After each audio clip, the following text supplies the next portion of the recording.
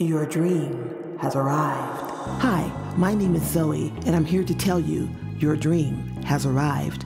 Traci Lynn Fashion Jewelry, so fashionably distinct, it sells itself. Wake up to a life that's without limits or boundaries.